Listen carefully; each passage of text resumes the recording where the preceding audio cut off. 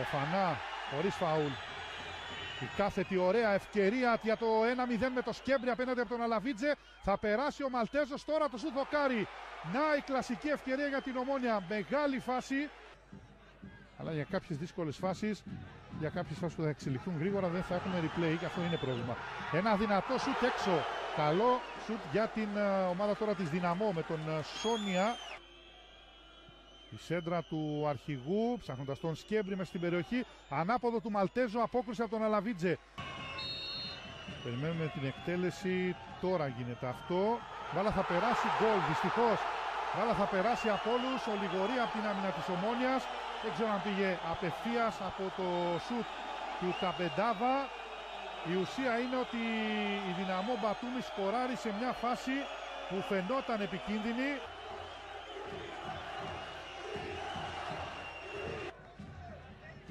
Ο Σκέμπρι μπάλα με τον Φοφανά η Σέντρα, ο Ποτέ, ευκαιρία το γύρισμα, εν κινήσει ο Σκέμπρι δεν μπορεί να πάρει την κεφαλιά.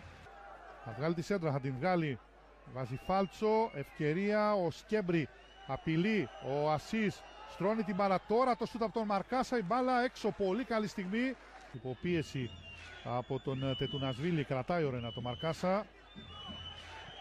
Βγαίνει ένα δυνατό σουτ, δύσκολη απόκριση από τον Αλαβίτζε και η μπάλα σε κόρνερ τελικά. Νομίζω ήταν ο Λομπιανίτζε. Κίρν πήρε μπάλα.